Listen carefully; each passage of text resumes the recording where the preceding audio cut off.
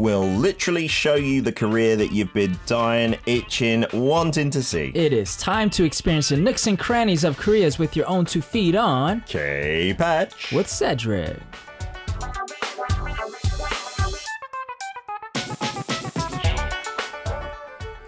That is right, Sky Seti, the YouTuber's in here. He's been out with his camera, taking a video on something we dispatched him on 4K patch. Uh, it says on the script, My American friend Cedric is with me, maybe more pertinent than most weeks. American Cedric, how are we feeling? Oh man, it's it's been a whirlwind of a week Mm-hmm. emotionally. Um, you know, I, I feel very fortunate to be here In and to- Korea. yeah, yeah, and you know, on many different fronts, really. But um, Yeah. yeah, I you know things are really tense in the states, and so my heart goes out to my fellow Americans, and you know, of course, my family and friends that are either directly or indirectly impacted by everything that's going on. Sure, the America's had a tough time the past couple of months with bad headlines with Corona, now the protests and the riots, police brutality. When's it gonna stop? Man, stop so- being in the head. Stop being greedy. Yeah, let's all share the bad news. I mean, everyone is saying the U.S. history books are going to be packed with the 2020 chapters. It's going to be a long chapter, isn't Yeah. it? 2020, unfortunately. Yeah, but luckily, I'm I, I count myself very fortunate right now, and so it's just more so from the sidelines, just watching is a little difficult, but I'm in good spirits overall. Oh, that's good to hear. I, I feel like Alex, you know, he, he came in on Friday. He was not happy at all about Oh, the whole man. situation. You know, I've seen his uh, posts on social media across the weekend.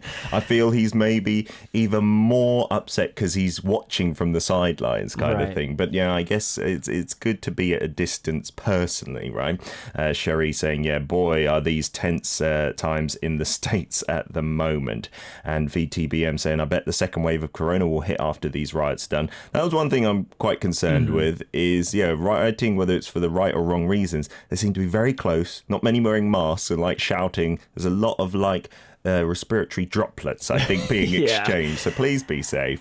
How about you personally? What have you done over the past week, Cedric? Anything interesting? Uh, yeah, actually, I was invited to speak at a conference here in Seoul. it was shared in our KakaoTalk group chat by our writer who just randomly came across it on Naver. Oh, wow. This post with your photo and a headline related to it. Yes, that is me. That was amazing. so, what were you talking about? What was the event? So the event, the conference was really uh, geared towards business leaders in Korea and also globally. And so it's a huge conference, but due to COVID nineteen, most of it had to be streamed. So there Okay. you know a certain amount of people there, but it was mainly talking about money, the economy globally as well as in Korea. Wow. But there was a segment on uh, where like YouTubers and influencers, quote unquote, have Uh-huh. a place in uh, the global market. And so I got a chance to share my story and also uh, how uh, cultural diversity through YouTube is really beneficial in business. Oh, fantastic. So You- it was it was a pleasure. It that was fun. held here in Korea. Did you do it in English, though? I did. I did. And so the global audience could understand that. Can anyone watch that, like rewatch it? Are there Well, you know, videos uh, available? I believe so. I think they're going to edit the talking bits and uh, and post it, but I'm not sure. Okay. I'm not sure. I'd love to see that. But yeah, Yeah, I'll let you guys know. Great to see you on the headlines of some internet portal sites here, Cedric. yeah, Fantastic it was, stuff. It was an honor. Uh, today's hashtag, uh, I think you may have the best this hashtag out of all of our listeners because we've all been complaining that our this is bad. We're talking posture Uh-huh. or chase. And because you work out a lot and just the way you hold yourself in the studio, Mm-hmm. I reckon you have not too bad a posture. Well, uh, I think that's just for show because when the cameras are on, I kind of prop up. But I mean, you should just see me working at home or at Really? a cafe. I'm just slouching, and it's quite horrible. Do you have the like kind of turtleneck thing for people who work on laptops and smartphones a lot? Um, maybe not as severe, but I think Okay. it's just a matter of my my shoulders tend to lean forward. okay. You know, instead of just kind of pinched back. back. Yeah. So so it is a problem that I've dealt with for years. That makes us all feel better. That even the most posturally correct of us, although uh, al- al- albeit from appearances on the camera, Mm-hmm. slouch as well. Okay, nobody's perfect. There we go. Uh, today's theme for K Patch, we're going on a little trip to somewhere very trendy. Yeah, we're going to a hot place, and this is a very interesting place that I've actually haven't been to yet. And so it's in the Euljiro area. Yeah. and uh, the theme is Hipjiro. Hipjiro, that's the nickname of this area, this hip kind of street, right? Um, Euljiro, like, used to be famous for being very central, like north of the river. Uh, lots of businesses, and I think lots of businesses go out to eat around there, like at lunchtime and after work and stuff. And so you went and filmed a couple of videos over there. Yeah, yeah. So it's very interesting because again, uh, I wasn't expecting to see what I saw, but uh, yeah, I'm super excited to share with you guys. All right, so what's the first video going to show us? So the first video is going to be uh, me and Becky walking through some of the alleys of Euljiro, and you'll be able to see how old and uh, traditional—not traditional, but just how uh, rustic and retro it looks. Okey-dokey. But then also I'll show you an art e- exhibition that's quite unique. All right, let's take a look at video number one in Euljiro.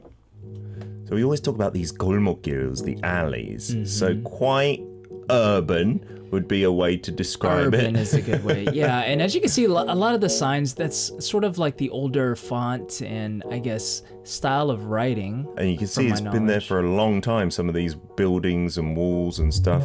Right, and there's a little bar pub in there as well. It looks a little bit.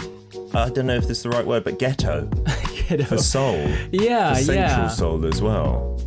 And I don't know if it was due that? to it's uh, I think it's a toilet paper or something. I don't know. Wow, This is a logo? very interesting art exhibition. It's in a tiny little room there. Mm-hmm. So it's in an old building. Okay. And so they pretty much just transformed this building into several different rooms of an exhibit. Is it free to go in?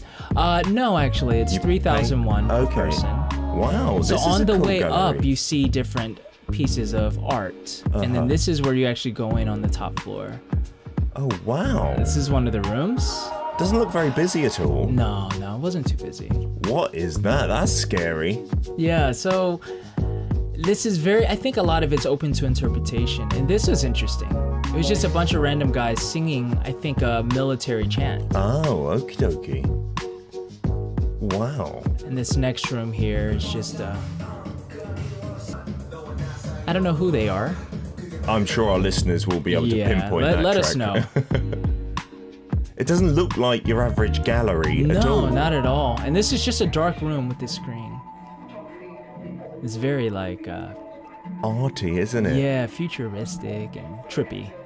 I'm not usually into art in its Mm-hmm. traditional sense, but that building looks super cool. Yeah, yeah. So uh, you know, it has a very what I like to call underground vibe or feel. Uh-huh. You know, uh, even though it's above ground, obviously, but the style of art seems to be very underground and uh, you know not mainstream. Yeah, it feels sure. like you're in a secret gallery because I didn't see another soul in your videos. Obviously, I guess that's deliberate as well. You don't want to film anyone else, but it wasn't too busy. No, I mean, so in each room, they only allow like one person uh, or whoever you're with, a group, to be in there just to kind of, you know, appreciate the art Really? without any interruption. And there was one more room that I could not show you guys because there was another film crew apparently in there filming. Oh, wow, really? So unfortunately, there was one more that um, I couldn't get into, but Is that a famous spot in Hipjiro? Did you just stumble across it? Or No, so this one was uh, something that uh, actually one of our writers found Uh-huh. and recommended that I visit. So I, I checked it out because the thing is, it it's not easily visible on the street. Yeah, because your video beforehand looked like just lots of random shuttered up buildings, And nothing that's open. exactly where it was. Really, just Right. randomly.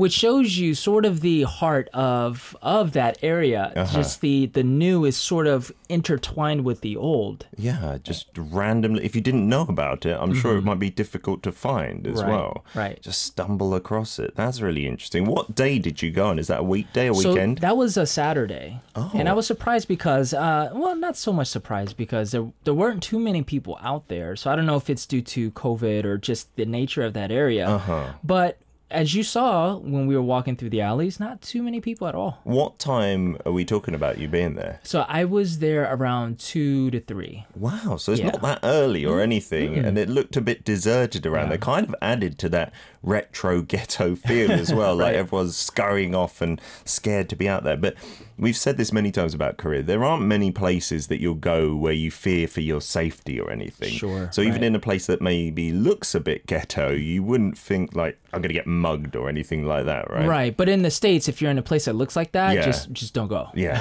run, Run, exactly. for your life. I'd, I'd give you the same advice in the UK, but it doesn't have that feeling, like that feeling of fear at all here. Right. I wonder if those things open up like at a certain time, or if they're all like down, gr- not downgraded, but like dilapidated and stuff like that. It looked a bit unused, right? Right. So I don't know if in that area it's a thing for Saturdays or certain Saturdays for everything to be closed, but Mm-hmm. it, it was sort of surprising. I mean, there were other shops and areas, which you'll see some in the second video. Okay. Um, but yeah, that area was quite deserted. Was it close to the station to get to that Koimokyu? Because when you're in Mm-hmm. a Koimokyu, you could be miles away from the main road, or you could be like literally a second away. Right. It was not too far from the station. Okay. Yeah. So the main road, Euljiro, is um, fairly close. Yeah, and that's the busy like artery of the city where a lot of the subway stations are. There's like different numbers of Euljiro, Euljiro, like Samga. I think there's Olga three and five.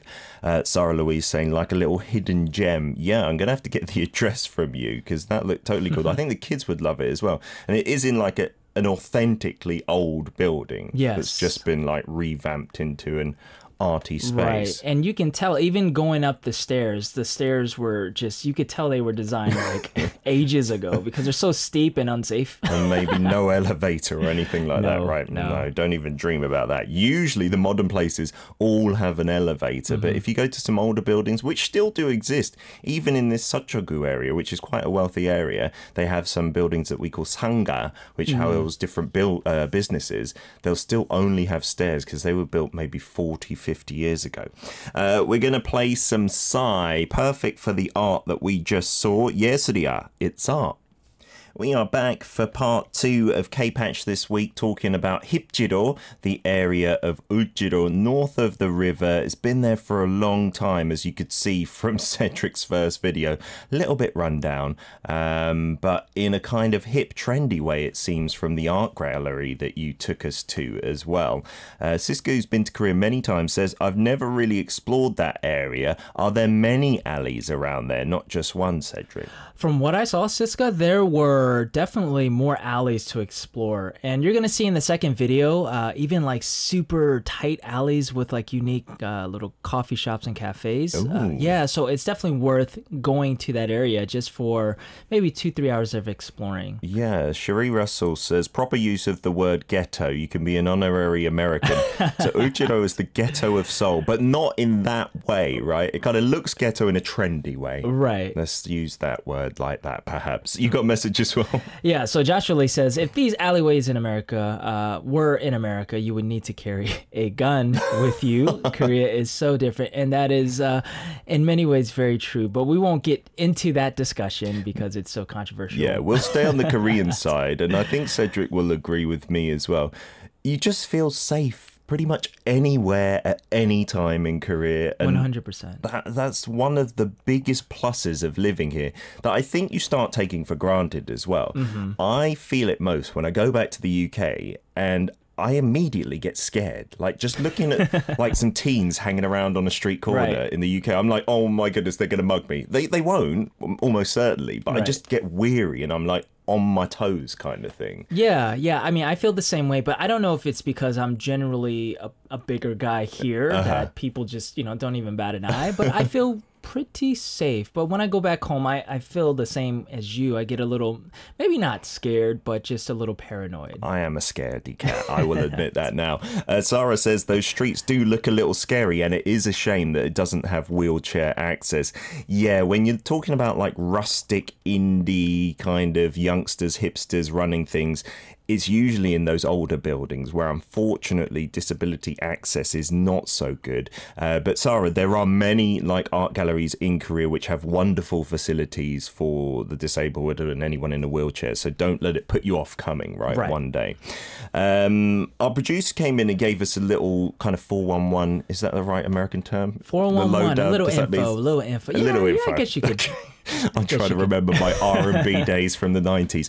Uh, but yeah, a little info on Euljiro and perhaps why it was so quiet as well. It's not usually like that, right, on the weekdays. Right. So Monday through Friday, apparently, all of those gates are open and, and they're open for business There are people around. But again, I went on a Saturday Mm-hmm. and uh, yeah, they're apparently closed on the weekends. Yeah, I think that area is really big for like office workers. So Mm-hmm. when they're working nine to five, Monday through to Friday, there's a lot of hustle bustle and stuff like that going on. Weekends, maybe not so much uh, foot traffic in that area. And then because it is so run down, there's lots of places that you can get really cheap rent at, right? So I think Right. young hipsters move into those areas. Right, which kind of makes sense why that is becoming hipjiro. Yeah, there you go. The only problem is, I've seen this happen in Korea over my 10 years of living here. An area becomes really hip and cool that was cheaper in terms of rent. And then, because it's popular and foot traffic comes in, the bigger businesses start investing, pricing out like the hip young people, and they have to move to another area. And their big businesses capitalize on it being like trendy and stuff like that. I think that's happened maybe a little bit in Ikseon-dong, which is a favorite haunt of Alex uh, Segrist, our Friday guest. I went there one time, and it's so trendy there now that it's expensive, even though it's like a bit Sure. run down. Hopefully, Euljiro or Hipjiro can stay hip and cheap for a long time to come. Second video, then, Cedric. What are we going to see? Well, you know, in this area, businesses are reusing the old spaces in a very stylish way. And so I'm going to show you guys a popular and unique cafe that is uh, very hard to find if you don't look hard enough, and you'll see why. So let's watch. Where are you? Are you even allowed down there? That looks so narrow. Right. That looks really scary. It's- like I wouldn't maybe even venture down there in Korea. I know. Yeah. And so once you go in there, then these little cafes start popping up. A little jjimdak place over there. You wouldn't even know from like the end of the alley. Not at all. That is so retro in there. And look how old the building is inside. It's literally crumbling. and this is a cafe, is it? this is a cafe. Oh, that looks amazing. They've got the old style of Korean furniture there with the mother of pearl like inscribed. That is such a cool interior. And I don't know, I don't know if you guys caught it, but on the menu there was no English. It was all just Korean.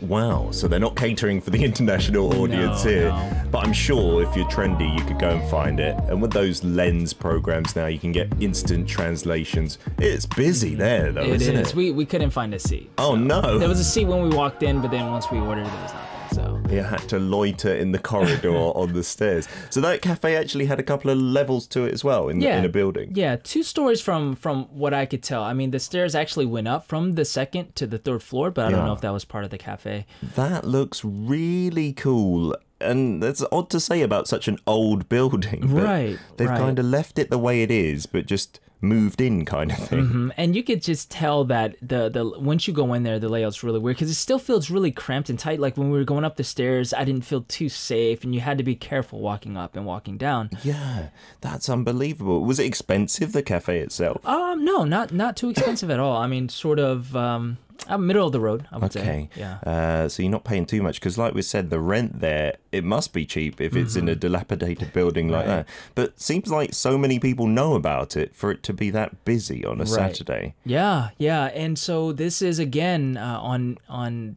Uh, I guess online through certain avenues, like a lot of Korean natives know about this place. Mm-hmm. And, but you know, the the cool thing about this area is a lot of it is either word of mouth Yeah. that you're going to find out about these places, or you're just going to have to explore and find out about them. Just wander around. Just wander around.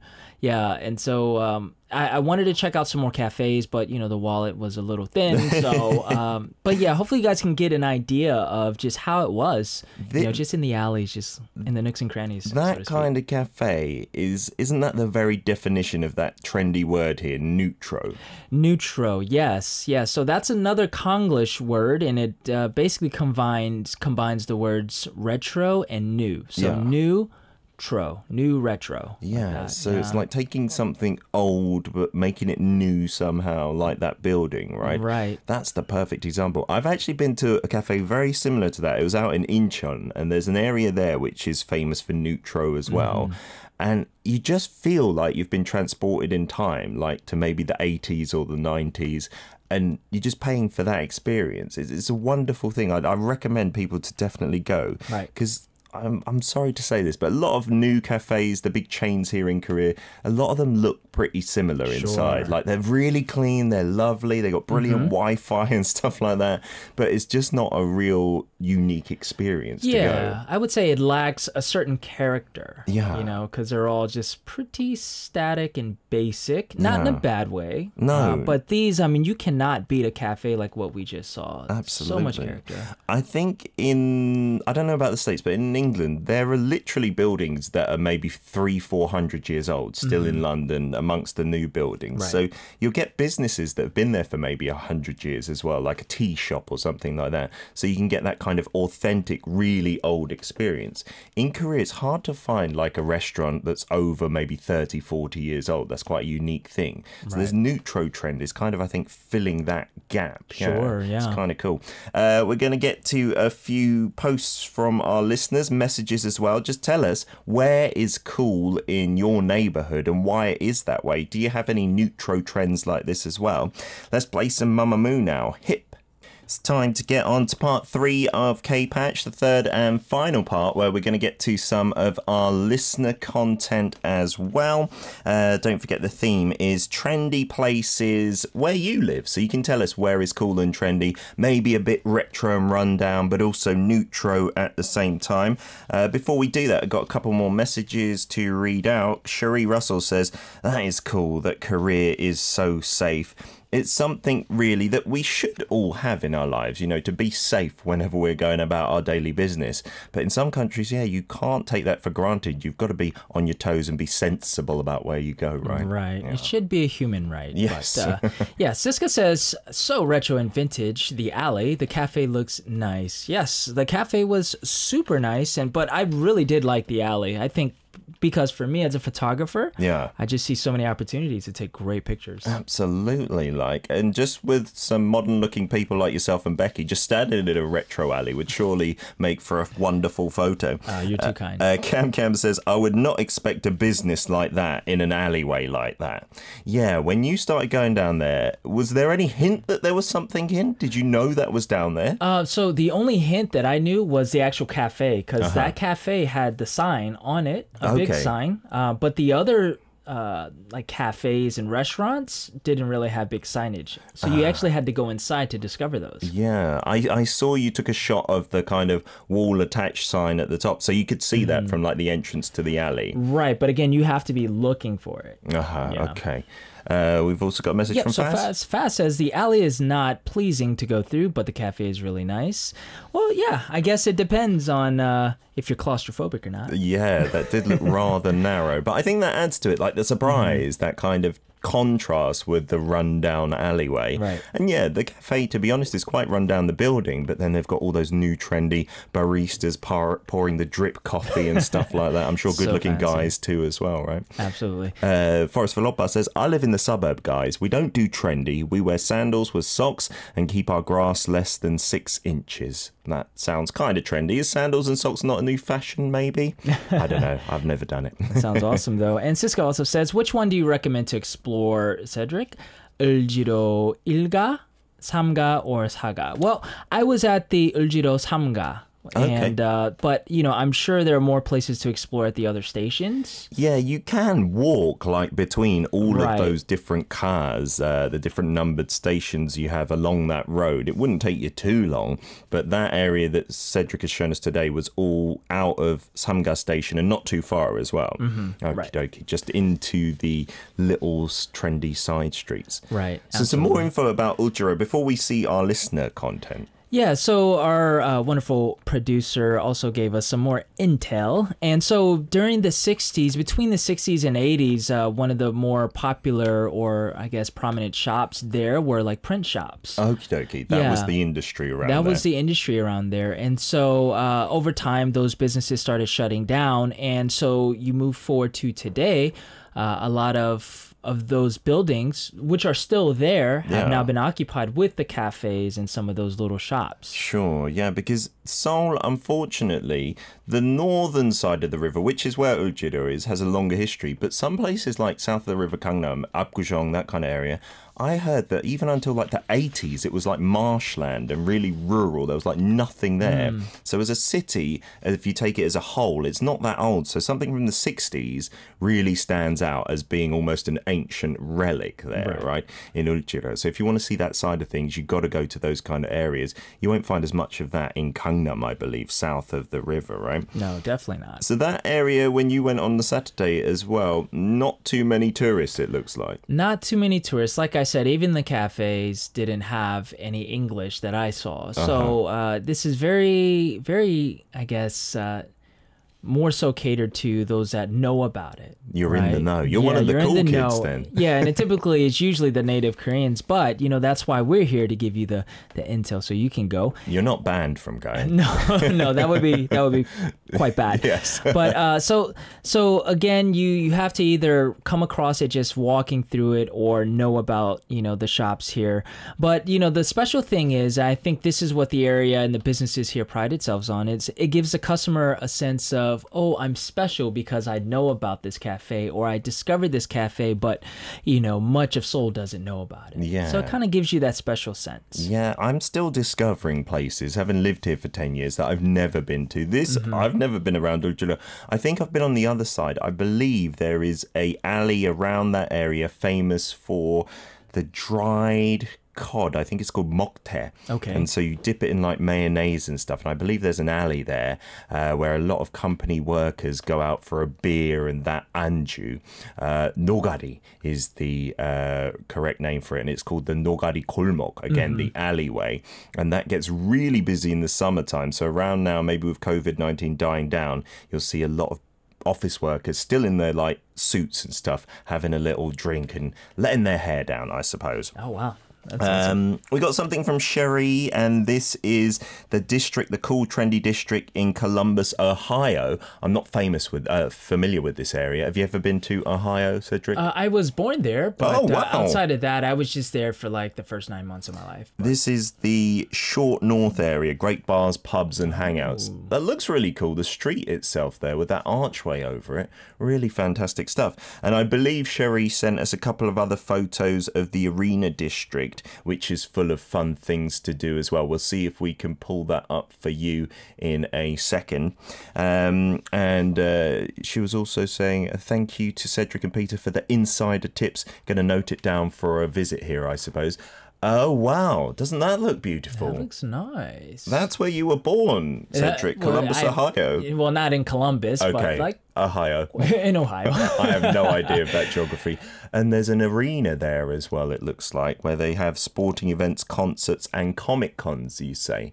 That looks lovely. I'd Yeah, love to visit. I love the bright lights. Yeah, that doesn't seem like a touristy destination when people go to the States. I don't think it's Columbus, Ohio on top of their list, but Probably not on the top. Looks but quite there are things to do, I'm sure. I'm sure about that too. Yeah. You've got a longer message from Siska about Jakarta. Yeah, so Siska doesn't have any pics or videos, but she does recommend two trendy hip areas in Jakarta. Okay, the first area is Kemang area, which I'm hopefully hopefully not butchering that too much. It's in South Jakarta. It's very near, uh, similar to Korea, or very near Koreatown. Oh, and so you can find many Koreans and other foreigners hang out in this area. It's famous with trendy cafes and also art galleries, and the atmosphere there is kind of similar with a mix of Gangnam and Itaewon. Oh. So a little class with like some foreign flair, I would Yeah, say, and right? some youngsters as well. right. And then the second area that Siska recommends is the Mangga Besar area, which is in central Jakarta near Chinatown and the only and only walking distance from her house. So you can visit Siska whenever you go there. Uh, famous as a culinary street, including durian streets. Oh, that fruit. I don't Yep. know if I'd like that. and it's also a good entertainment area too. Many karaoke's, hotels, etc. The vibe is very similar with Hongdae. Oh, cool. So, but uh, you know, this also has a red district part. Oh, Take that as you will. don't want to go there then. Not with the kids. right, Hongdae definitely doesn't have that, which is No, great. no, yeah. I heard that Hongdae as well, like maybe if you go back 15 years ago, it was the kind of hip, cheap place for young businesses to be Hmm. because it's so popular. It's quite expensive in terms of rent and stuff. But you live around that area. There's still Yeah. got like the young, trendy vibe. Still, yeah, Yeah. very artsy, trendy. But now it's kind of shifted towards Yeonnam-dong, which is neighboring Hongdae. So Ah. Yeah. yeah. that's sort of the new hot place. I've heard the rent there cheaper and stuff. And if you go towards like Mm-hmm. Mangwon, Sijang, the market area around there, you can find some trendy cafes Yeah. and stuff, right? Uh, loads of messages from our listeners as well. Hopefully, we can get to a few of these. Cam Cam says we have in my area some warehouses turned into microbreweries. Some look like they're in old westerns. Uh, that sounds cool. Yeah, I've seen that here as well. Some like warehouses converted into coffee shops or maybe mm-hmm. bars. That's got a nice vibe to it as well. Josh Lee says trendy places here probably Forest Park in St. Louis. It's bigger than Central Park and it's got the largest free admission zoo in the world with a botanical garden and the biggest Japanese garden in the US. That sounds pretty cool. Did you ever happen to visit Central Park when you were living around that area, I, Cedric? yeah, I did a couple of times, and Central Park is huge. Really? Yeah. Bigger than like Seoul Forest Park or the parks you've seen here in Korea, in Seoul at least. Um, size wise, I'm not sure, but I mean, uh, it takes up a good percentage of Manhattan. Uh-huh, yeah, if yeah. you look at it on a map, just in central, well, central, you know, obviously, but uh, Yeah. yeah. it takes up a good percentage of it, so it's huge. Yeah, we're going to get to some more of your messages maybe on the Saturday weekly review as we're running out of time today. But thank you for them. And thanks, Cedric, for bringing in Hipjiro. I didn't even know it was called that, to be My honest. pleasure. We're going to see you again next Monday. Absolutely. And as ever, listeners, if you've got any themes that you want Cedric to take a video on, send them in to us. But he'll be back with some cool clips next Monday. Have a good week. Have a good week, guys. Here's Gugudan, Wonderland.